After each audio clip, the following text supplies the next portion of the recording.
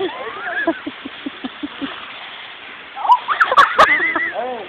that's a good case run. That's a, it is. Good case run.